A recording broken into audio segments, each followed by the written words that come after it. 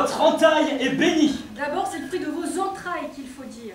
Peut-être, mais c'est moins imagé. Assez, Victor. J'ai assez de ces conversations, tu me fais dire des bêtises. Parce que tu es une vieille bête Ta mère et bien bonne. Si ta mère t'entendait Je dis qu'elle est bien bonne. Bien, bien, bien, bien, bien bonne. une plaisanterie? Eh bien, ne puis-je pas aimer ma mère? Victor Lily Victor, tu as 9 ans aujourd'hui. Tu n'es presque plus un enfant. Alors, dans un an, je serai un homme Hein Un petit bonhomme Tu dois être raisonnable. Je pourrais raisonnablement te traiter de cru. À moins que tu me consentes. Faire pour moi ce que tu fais pour d'autres. M'en veux Ose dire que tu n'as pas couché avec mon père Va-t'en, je t'étrangle Hein, ma petite bonne femme Hein, le petit bonhomme Cet âge est sans pitié. Tu as trois fois cet âge, Lily Tais-toi Tais-toi, je t'en supplie Tu vois ce verre, Lily? Oui, eh bien. C'est un verre en cristal de baccarat. On le saura. Ma mère le répète à chaque réception. Il est unique, parce qu'il appartient à un service unique. C'est dire qu'il vaut très cher. J'aurais dû commencer par là. Écoute bien. Jusque-là, j'ai été un enfant modèle. Je n'ai rien fait de ce qu'on m'a défendu. J'ai été jusqu'à ce jour irréprochable. Si j'ai jamais mis ma main en visière pour pisser, comme on me l'a recommandé, en revanche, je n'ai jamais inséré mon doigt dans le derrière des petites Mais filles, tais-toi, monstre comme l'a fait Lucien Paradis. S'il l'ose, quand il aura 9 ans, il le confessera. Mais je tiens à te dire, aujourd'hui 11 septembre, qui est la Saint-Léonce, que je n'attendrai pas un an de plus avant de devenir un homme, ce qui ne signifie rien, et que simplement, je suis décidé à devenir quelque chose. Écoutez-le. Oui, quelque chose Quelque chose de neuf, nom de Dieu Ah non, mais si on l'entendait Le verre de baccarat est toujours dans ma fragile main. Qui des deux est le plus fragile? Victor, tu ne vas pas casser ce verre. Si ce verre tombe et se brise, la famille Pommel, dont je suis le dernier descendant, perdra 3000 francs. Il va le casser. Rassure-toi Je ne le casserai pas.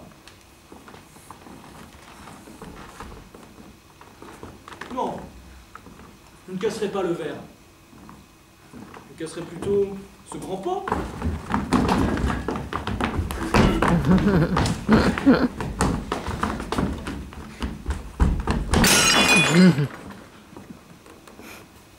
Bon, en voilà pour 10 000 francs à valoir sur mon héritage. Tu es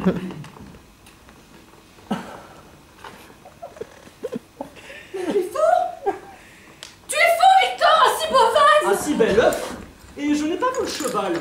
Tu as vu le cheval, toi Qu'est-ce que c'est que ça, papa Oh, c'est un œuf de cheval. Un gros coco de dada. Il ne respecte rien Croyez-vous qu'il a des remords? Oh, Pas le moindre. Et quand je pense que tu l'as fait exprès Moi? Qu'ai-je fait encore? On ne fait pas l'imbécile, hein. Moi, qu'est-ce que je fais encore Bien toi, ma petite Lily, tu viens de casser le grand vase de Sèvres. Comment? Tu oses m'accuser de ce que tu viens de faire toi-même? Volontairement et sous mes yeux? Oui, Mais je dirais que c'est toi. On ne te croira pas. On ne me croira pas. Non, Pourquoi? Tu verras. Je voudrais bien que tu me dises pourquoi. Tu verras. Mais C'est affreux. C'est abominable. Je ne t'ai rien fait, moi, mon petit Victor. N'ai-je pas toujours été gentille Ne t'ai-je pas évité? Tu ne m'as rien évité. Jamais. Mais Dieu du ciel, qu'a-t-il? Qu'as-tu? J'ai 9 ans. J'ai un père, une mère, une bonne. J'ai un navire à essence qui part et revient à son point de départ après avoir tiré trois coups de canon. J'ai une brosse à dents individuelle à manche rouge. Celle de mon père a le manche bleu, celle de ma mère a le manche blanc. J'ai un casque de pompier avec tous ses accessoires, hein, qui sont le ceinturon verni, la méthode de sauvetage et l'âge d'abordage. J'ai faim J'ai le nez régulier J'ai les yeux sans dépense et les mains sans emploi parce que je suis trop petit Je n'ai plus aucune infirmité Je dois à ses dispositions de t'avoir vu commettre, sans motif, un acte regrettable. La famille appréciera. Tu n'as pas le droit de faire ça. Ce n'est pas bien. Si tu as un cœur, tu t'accuseras toi-même. C'est comme ça qu'agissent les petits garçons loyaux et francs. Je ne suis pas un petit garçon. Et je ne m'accuserai pas parce que c'est toi qui as cassé le grand pot. Eh bien, on va voir. Ah, tu me menaces Écoute, Lily, je vais casser l'autre Quel malheur Un petit garçon si doux, si sage. Qu'a-t-il vu? Qui peut-il fréquenter? Tu ne comprendrais pas. Tu ne comprendrais pas parce que tu es stupide, maladroite et vicieuse. Je n'invente rien. Quand ma mère constatera les dégâts, elle te convaincra sans difficulté. Et je suis sûr que tu seras encore assez lâche pour lui faire des excuses. Comme si la moindre insulte ne valait pas mille fois plus que le gros coco du dada. Il me demande d'insulter sa mère? Mais tu n'es pas sa fille, toi Je ne comprends plus. Je ne comprends rien Tu vas comprendre. Quoique je n'ai pas cassé l'œuf en question, Oh je pourrais m'en accuser. Je le ferai volontiers, mais on ne me croira pas. Quoi? On ne me croira pas. Parce que je n'ai jamais rien cassé dans ma vie. Pas un biberon, pas un piano. Tandis que toi, tu as déjà à ton actif la bouteille d'eau de noix, la théière, la pendule, etc. Si je m'accuse, voilà mon père. Oh, le cher enfant, il veut sauver Lily. Et ma mère. Ah, Victor, ce que tu fais là est très bien. Bon, Lily, je vous chasse Puisqu'il y aura du monde, on t'insultera pas davantage. Que veux-tu? Tu as cassé le vase, je n'y peux rien. Rien du tout. Car puisque je ne puis point être coupable, je ne peux pas l'avoir cassé. Mais pourtant, il est cassé Oui, tu as eu tort. Si j'avais cassé le verre seulement Je suis terriblement intelligent.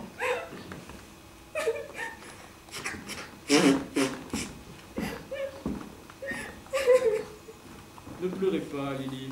Ne pleurez pas, chère petite fille. Victor, qu'est-ce qui te prend Je, ne vous, je vous en supplie, ne pleurez pas. Madame veut vous congédier, et madame n'est rien ici. C'est moi qui suis le maître. D'ailleurs, madame m'adore. Moi pourtant, que je ne vous aime. Je vous sauverai. Comptez sur moi. Et au petit jour, je vous apporterai moi-même la bonne nouvelle. Dans votre chambre. Agneau de flamme, tour du soir, bergère de l'étoile, priez pour nous, priez pour nous, priez pour non, nous non, non, non, non, non, je partirai, je partirai. Je veux partir, je vais partir tout de suite. Victor est devenu fou, ce n'est plus un enfant. Il n'y a plus d'enfants Il n'y a jamais eu d'enfants Sale maison, je partirai. Maintenant, c'est moi qui veux partir. Il n'a que 9 ans. Bah, il promet Toto. Je tiens toujours ce que je promets, et tu ne seras pas inquiété. Reste. Non. Tu resteras Vous resterez, ma chère Lily. Image du ciel, tige des lunes. Vous resterez. Tu veux me faire chanter, sale gosse? Voyou Bien soit, je resterai, mais tu me le paieras. Va, je t'en veux pas. Et tu ne seras pas inquiété, je te le jure. Car je suis terriblement intelligent. Dommage que tu aies payé la première. Terriblement intelligent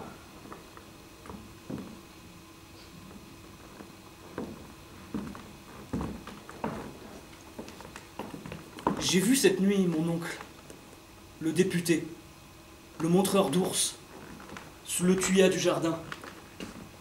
Il était blanc, avec un fusil blanc comme du marbre. Il a réussi. Je m'approchais, à distance pourtant de sa main. Je voyais soudain, dans le nuage, le dessin exact d'un éclair. Comme autrefois, l'éclair était rose. Je remarquais sa forme instantanée. Il figurait les contours des côtes de la Manche. Le député excitait ses ours et m'assurait de son affection. Victor, tu es terriblement... Bonjour Victor Je te souhaite un heureux anniversaire. Ah, c'est toi Esther. Bonjour. Merci. De rien. De rien. Alors pourquoi le dis-tu? On dit de rien par politesse. Écoute Esther, ne t'occupe pas de moi. Laisse-moi tranquille. Soigne tes poupées, lèche tes chats, aime ton prochain comme toi-même, et sois une enfant docile, en attendant d'être une bonne épouse et une bonne mère. Tu ne m'aimes plus Méchant Tu ne comprends pas. Tu ne comprendrais pas, tu es comme Lily. Tiens, Lily qui a cassé la potiche tout à l'heure, et qu'on va probablement renvoyer parce qu'elle a l'intention de m'accuser. Ce n'est pas toi? Évidemment Si j'étais coupable, je n'irais pas m'en vanter. Bien sûr. Pauvre Lily. N'en parlons plus. Dis donc Esther, j'ai une belle histoire à te raconter. Ben, dis vite. Tu connais Pierre Dussène Si, tu le connais. Celui qui se promène toujours avec un grand fouet et qui collectionne les serpents. Eh bien, je suis sorti avec lui hier soir. Hier soir, sans Lily? Non, Lily est venue, mais nous l'avons chassée à coups de pierre. Elle nous attendait chez sa sœur pendant que nous allions à la comédie sous la halle. Quelle chance tu as, Victor. La paix. Chut.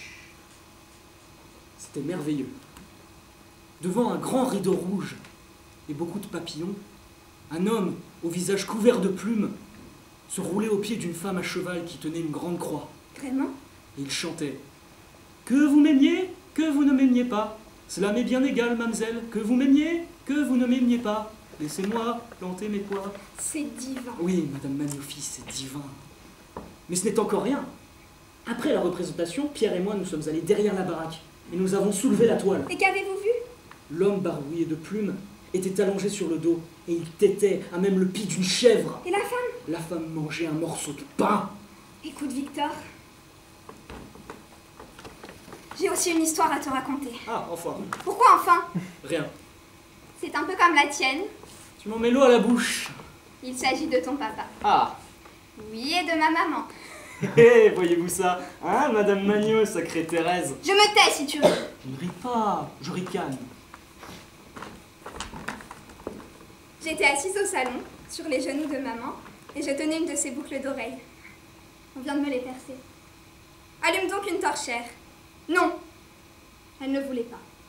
On sonne. Maman se lève tout d'un coup et je roule à terre. Pif, paf Des deux mains à la fois. Tu ne peux pas faire attention, idiote C'était moi, idiote. Avec les bagues? Évidemment. Une joue est raflée et la boucle d'oreille dans la main, cassée. Et qui était-ce? Mon papa. Oh, tout juste. Va te coucher. Je n'ai pas sommeil. Évidemment, quand il vient quelqu'un, au lit Et il vient beaucoup de monde? Non, monsieur Paumel. Ah, mon papa. Il est beau, hein? Beau, il est tout rasé. Tu veux dire tout nu? Non, bien sûr, les mains et la figure seulement. Ah, bébé. Continue. Alors voilà, je reste, on me jette un livre. Bonjour Charles. Bonjour Thérèse. Où est le cher Antoine? Papa dormait. Ils se sont assis au salon et voilà ce que j'ai entendu. Maman disait Friseli, Friseli, Friseli, ton papa, réseau, réseau, réseau. La mienne, Carlo, je m'idole en tout. Ou quelque chose comme ça. Le tien, très haut baigneur muet. La mienne, Messie Antoine, là, d'un coup. Le tien, ah, ton coup me sauverait. La mienne, horizon ravi. Le tien, laisse-la cette pieuvre rose. Je suis sûre de la pieuvre, le reste n'est que de l'à peu près. C'est tout? La mienne a pleuré, le tien est parti en claquant la porte. Alors? Alors, papa est arrivé en chemise. Il a fait le tour du salon en disant Je ne me sens pas dedans. Il répète toujours qu'il ne se sent pas dedans. Moi non plus, a dit maman. Il s'est agenouillé à ses pieds et il a crié, comme il le fait depuis quelques jours Les petits veaux valent mieux que vos petits Bazen Ah, quelle destinée Moi, tour à tour, à l'essai du marteau, du rabot, des soupapes, de la plume, des vapeurs, de l'amour. Maintenant, de l'amour. Et là-dessus, la botte pesante de mon père et le grand vertige des femmes dans leur appartement. Je l'ai laissé passer dans son appartement. Je l'ai laissé passer dans son appartement. Et voilà. L'enfant terrible, le père indigne, la bonne mère, la femme adultère, le cocu, le vieux bazen. 13 ans Victor Qui l'a cassé? Ah, tu le demandes? C'est trop fort Où est Lily? Est-ce Lily? Non, non, non, c'est Esther. Est-ce toi, Esther? On prétend que tu as cassé le vase. Dis la vérité, l'as-tu cassé? Non. C'est Esther. J'ai eu le malheur de lui dire que c'était un œuf de cheval, et alors que j'avais le dos tourné, elle l'a brisé pour voir naître le poulain. Voilà, imbécile, avec tes histoires Mais Victor ne l'a jamais cassé lui. Mais Victor, évidemment, Victor. Crois-tu qu'il est jamais coupé dans tes inepties? Esther, viens ici. Tu as entendu, Esther? Je t'ai dit de venir ici. Veux-tu que je vienne, moi? Oh, pardon, Madame Magnot, avez-vous retiré vos bagues? Victor. De quoi te mêles-tu? Mais le cher petit craint que vous ne blessez Esther avec vos diamants. Il a raison, mais cette gamine est insupportable. Et mérite une punition. Car ma chère amie, ce vase était une pièce très rare et qui valait fort cher, n'est-ce pas? Mon Dieu Thérèse, je suis le grand coupable dans cette affaire. Laissez-moi supporter le dommage. D'autant plus que ces objets, malgré leur masse, sont plus fragiles que vos bagues ou que vos boucles d'oreilles, n'est-il pas vrai? Je n'ai jamais corrigé ma fille avec des boucles d'oreilles, que je sache. Mais où va-t-il chercher tout ce qu'il prouve? Moi, j'approuve fort cette réponse. hein. Ne vous fâchez pas, Thérèse. Je suis d'avis qu'il faut encourager l'esprit d'à propos des enfants. Esther est bien assez punie, croyez-le, madame. Et je demande, puisque c'est mon droit d'anniversaire, que vous lui fassiez grâce. Bravo Victor Thérèse, embrassez votre fille, n'en parlons plus. Viens, mon fils, viens, Victor, tiens. Voilà 10 francs. Enfin, Esther, me diras-tu pourquoi tu as fait cela Parce que Victor a 9 ans aujourd'hui Eh bien, tiens oh, Pardon, mon petit Victor, c'est la dernière de la soirée, mais cela était plus fort que moi. Allons, allons, parlons d'autre chose. Et n'attristons pas notre petite fête par des criailleries, par des pleurs. Ah, en fait, Antoine n'est pas encore là. Ni la présidente. Oh, Antoine, s'il n'avait insisté pour venir, je l'aurais volontiers laissé à la maison. Et vous, Thérèse, vous auriez abandonné Antoine. Mais ma chère, j'en aurais été désolée, et Victor, qui l'adore, vous en aurez certainement voulu. Oh, il n'est pas drôle, vous savez. Quoi? Oui, ma chère Émilie, Antoine n'est pas bien, il est... Il est fou Fou Hélas. Mais c'est horrible Ne fais pas l'étonner, voyons Émilie. Tu sais parfaitement qu'Antoine était sujet à de certaines crises, rares autrefois, ils deviennent de plus en plus fréquents.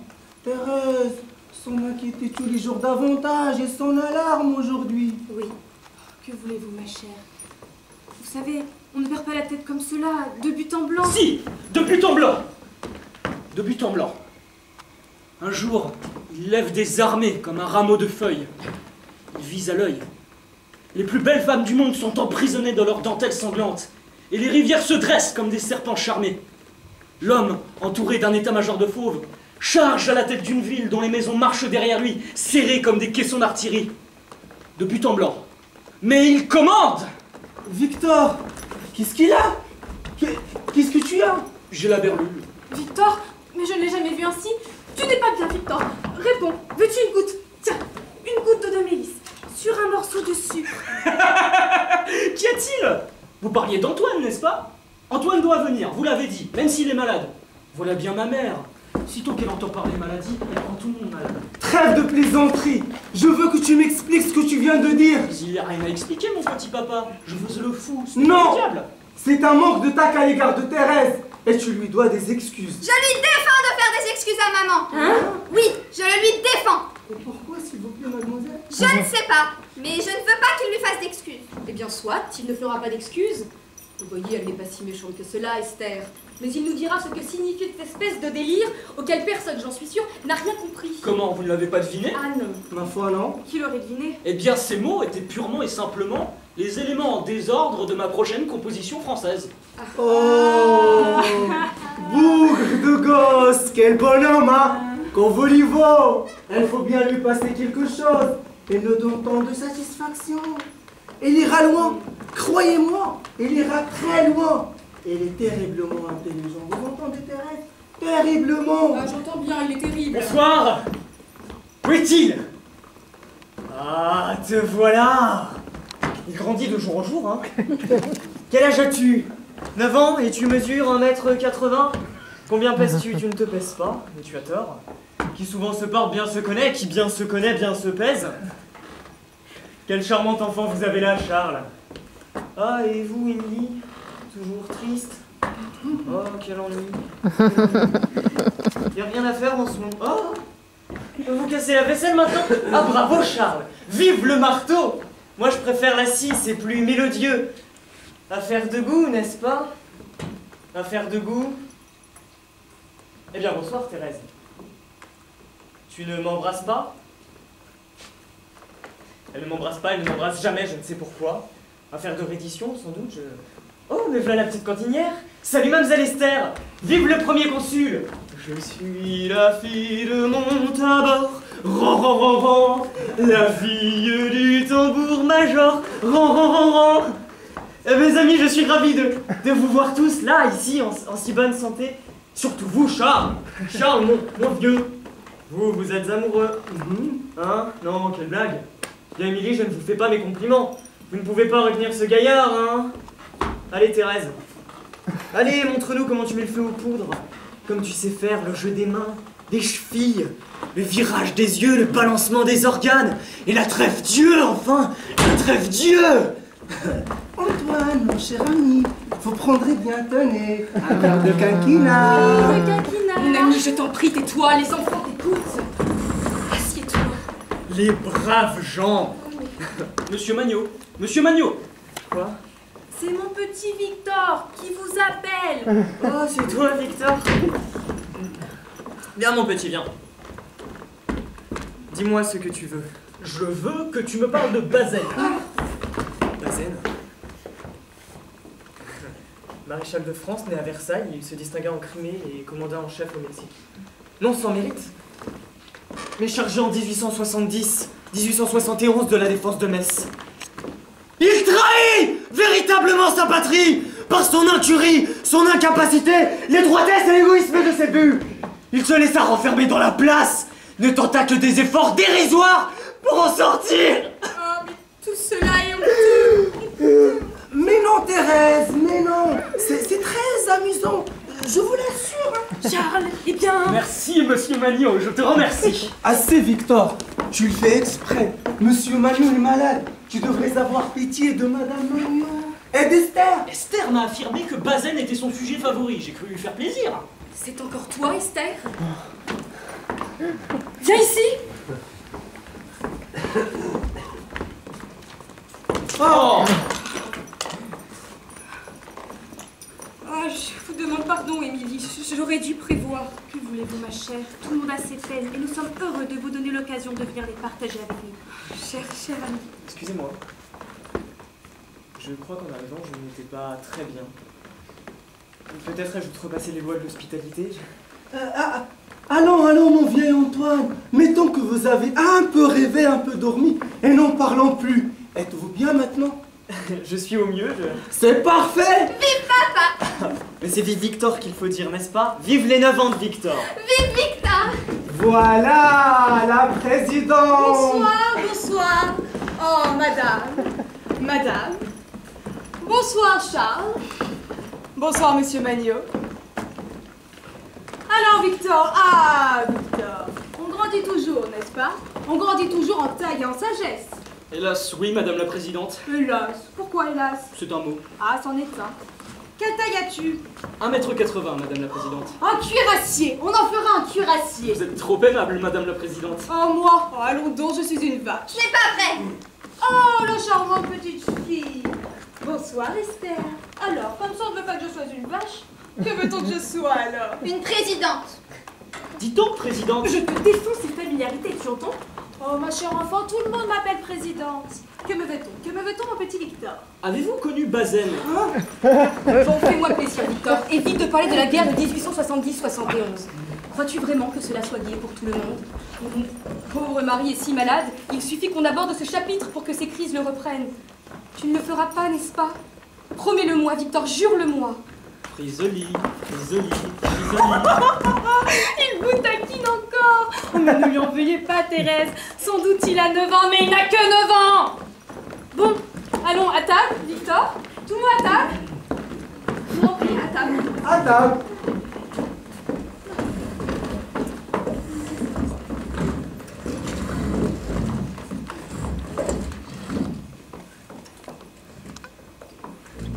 Je bois à tes 9 ans, Victor Au nom de Victor Je bois à ma mère bien-aimée, à mon père adoré. Je bois à la présidente Lonségur. Je bois à vous, madame Magnot. Je bois à monsieur Antoine Magnot. Je bois à Esther, leur fille. Et je bois à Lily, qui est la servante accomplie de cette maison. Bravo Et maintenant, Victor, tu vas nous dire quelque chose. Mais je ne sais rien. Oh, mais ne te fais pas prier, tu n'es pourtant pas timide. Je suppose que monsieur et madame Magnon ne te font pas peur. Non, mais c'est la présidente. Oh, Victor, dis-nous une poésie. Tu en connais bien une, que diable? Tout le monde connaît une poésie. Et il dit si bien. Présidente, c'est pour vous. C'est pour la France. Tu seras soldat, cher petit. Tu sais, mon enfant, si je t'aime, mais ton père t'en avertit. C'est lui qui t'armera, lui-même. Quand le tambour battra demain, que ton cœur soit aguerri, car je viendrai offrir ta main à notre mère, la patrie. Je demande la parole. Tu l'as, Antoine. Assieds-toi, Antoine. Laissez-le, Oh, Thérèse. voyons, laissez-le. Laissez-le s'amuser. Victor, tu te permets trop de liberté avec Monsieur Magnon. Parle, Antoine. Silence au camp. Des cochons Des cochons, des cochons La petite cavalerie de Sedan avec ses chevaux arabes. Ah ah ah Mais l'autre, brillamment chamarré, entre deux nègres, nous livrait le Sénégal et le Haut-Niger. Que faisait Féderbe Féderbe debout sur un taureau, escorté de 1400 spaïs, descendait soudain un petit escalier portatif de cuivre et de pourpre jusqu'au désert où se mouvaient tous les salamecs africains comme une mer de courtoisie. Il répandait au milieu de la fantasia un palmier qui produit des dattes tricolores. Mais à part ça, tous des cochons, des cochons et des patriotes. Et Bazen. Oh, Bazen Jean, connais-tu l'histoire de Bazen Mais tu l'as déjà raconté, mon Ah petit. oui. Eh ben je te tiens. Ah, je te tiens. Ah, toi Je te tiens. Ah, Zaza Je vous dois la vérité. Non, ça ça va. Je suis cocu. Non, non, non. Et maintenant, visez droit au cœur. Droit au cocu. Ah, je vous l'avais bien dit, et depuis plus d'un mois, c'est le même manège. Imprévisible. Antoine, au nom du peuple français, je te fais chevalier de la Légion d'honneur. Tu es gentil, mon petit Victor. Moi aussi, je t'aime bien. Ta poésie m'a beaucoup touché tout à l'heure. De qui est-elle? Elle est de Victor de la Prade. Je l'ai dite parce qu'il s'appelle Victor, comme moi. Mais n'est-il pas adorable? Oh, bien Esther, tu... Esther, tu pleures? Mais ta mère te refuse quelque chose, je suis sûr. Esther, ne la... euh, euh, Thérèse, ne la contrarie pas aujourd'hui. Mince, donne-lui de la moutarde si elle en a envie. Elle va nous dire quelque chose, elle aussi, c'est son tour. N'est-ce pas, Esther? Oui, papa. Un peu de silence. Et je commence. You you you, la baratte, la baratte du laitier, attirait you you la chatte, la chatte du charcutier. You you you qu'elle le batte, pendant qu'il va nous scier. Le foie you you et la rate, et la tête du rentier. You you you le cœur se dilate, mais les fruits sont verrouillés. You you you madame se tâte, avant you you la cravate, du bon petit écolier. Oh, c'est délicieux. Embrasse Esther Victor et remercie-la. Je suis ravi, Esther. Je t'embrasse. De tout mon cœur. Autrefois qu'elle you you, et you par-ci, et you par-là. Président, vous ne nous ferez pas croire que... Joli duo, ces deux-là. Oh, Paris, occasion, vous les marierez. Ah non. Oh, bah pourquoi pas, Thérèse? Notre Victor et Esther, je n'y ai jamais pensé. Mais Victor et Esther. Enfin, pour la plaisanterie, Esther pourrait bien s'appeler Pommel. Je m'appelle bien Pommel, moi. Mon Dieu, Thérèse Émilie, ils ont bien le temps Non, ils n'ont pas le temps. Nous allons les marier. Tout de suite, histoire de rire. Allez, je vous marie. Je vous marie et je suis sûr que vous savez déjà jouer les amoureux. Ça va être rigolo, n'est-ce pas, Madame la Présidente? C'est cela. Jouez-nous à papa et maman. Là, Victor. Tu es le papa. Là. Et toi, Esther? Oh, Esther, toi, tu es la maman. Et c'est la maman qui commence. Bien entendu. Frisoli, frisoli, frisoli. Réseau, réseau, réseau. Carlo, chemisole en tout. 13. Oh, baigneur muet. Mais si Antoine, là, coup. Ton cou me sauverait. Oh, ils sont ravis. Laisse-la, cette pure de rose. Oh. Bah alors, Emilio claque des dents. On a froid. Laissez-moi. Oh, merci, présidente, je n'ai pas froid. Mais laissez-moi, Antoine, voyons. Sans doute une autre crise se prépare. Je ne sais pas, je ne sais pas, vous dis-je, je ne sais pas. Mais qu'avez-vous, mais qu'a-t-on ici? Qu'attend l'ancien Nom de Dieu? Mes enfants, retirez-vous un instant. Non, présidente. Non, présidente. Oh, et bien respect. You, you, you, la baratte du laitier. Attirez-vous, la chatte du charcutier. Le cœur se dilate. Allez voir se fusiller. Ah. Ah. Et qu'il soit bien entendu, toi. Je n'ai rien compris de cette scène. Antoine, mon pauvre Antoine. Je voudrais demander à Victor. Euh, Victor, Papa rien plus tard Thérèse avait raison, je ne me sens pas bien, il faut que je rentre. Excusez-nous, Esther, allez, ton manteau, tes gants. Non je, je rentre seul, je vous défends de m'accompagner. Vous entendez, je vous le défends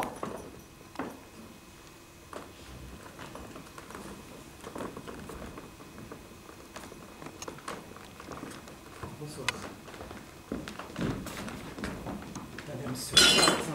Madame se tâte, mais les fruits sont verrouillés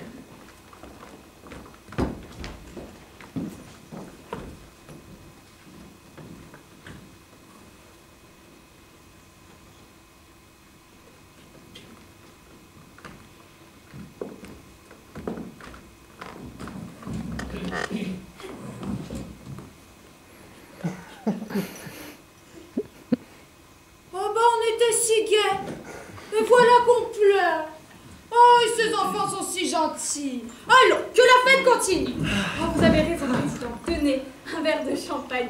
C'est cela. Et qu'on m'imite. Charles, le coup de l'étrier. Je ne refuse pas. Victor, viens près de moi. On voudrait te faire plaisir. On a 9 ans. Alors, qu'est-ce qui te ferait vraiment, mais là vraiment un très, mais là très très grand plaisir Vous promettez, Madame la Présidente Ah, parole de présidente.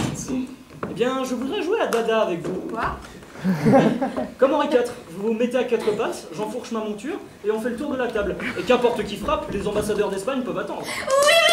Victor C'est stupide, il est insultant, je ne permettrai pas cela Vous avez promis, Madame la Présidente, vous m'avez donné votre parole. Mais demande autre chose, s'il te plaît, voyons, c'est intolérable. C'est très gentil ce qu'on me demande là. Oh, Victor, je ne te refuserai pas cette grâce. Ah, Assez Non Je le défends une dernière fois Votre parole, Madame la Présidente, ne me l'avez-vous pas donnée? Charles, cela me regarde. J'ai donné ma parole, je la tiendrai, et avec joie. Et puis, ma chère Émilie, il a déjà la taille d'un cuirassier. À 9 ans, songez-y Cocotte, cocotte, cocotte oh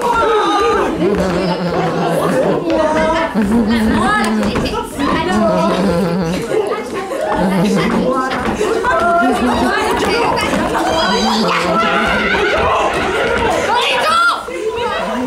Dico!